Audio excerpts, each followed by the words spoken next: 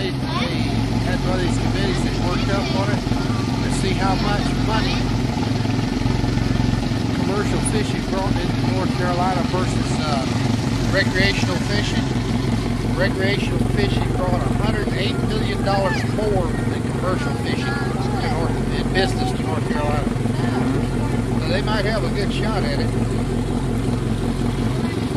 Yeah.